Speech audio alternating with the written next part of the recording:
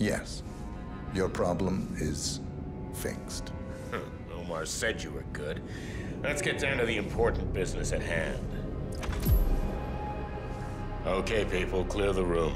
I need to discuss some delicate business with Mr. Kazim. Now, Perfect. excuse We have for a second. Ingram right I'll where be we want back. him. Please make yourself 47, you know what to do. visit of you. It's something to behold.